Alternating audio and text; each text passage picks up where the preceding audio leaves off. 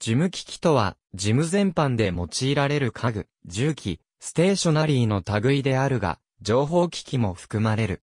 特に、機器に限定されない講義の事務機器では、机や椅子、あるいは、書類、資料を収めるキャビネットなど家具が含まれる。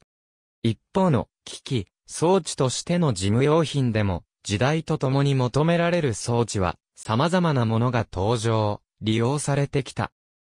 現代の情報化社会では、コンピュータやコンピュータネットワーク関連機器が様々な機械装置の機能を集約する形で取り込んでいるが、それ以前では、書類作成にワードプロセッサやタイプライターが利用される、鉛筆に付随して、鉛筆削りが利用される、事務労働者のリフレッシュ用や、来客接待用に飲料を提供するため、電気ポットコーヒーメーカーや自動販売機が利用されたりと、事務所内で様々な装置が利用されている。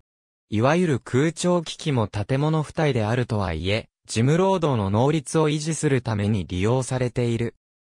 いわゆる、不机作業机机はかつて、ペンと紙とで作業していたという時代には、一般の勉強用や手紙を書く机のようなものが利用されていたが、事務という作業が書類を制作したり、他のものとの連携を図るようになると、会議に用いられるテーブルもオフィス環境に必要な家具であり、OA 化が進んだ時代には、いわゆる OA テーブルないし、OA デスクのような情報化に特化し、作業姿勢やケーブル配線の利便性にも配慮した家具類も利用されるようになってきている。ありがとうございます。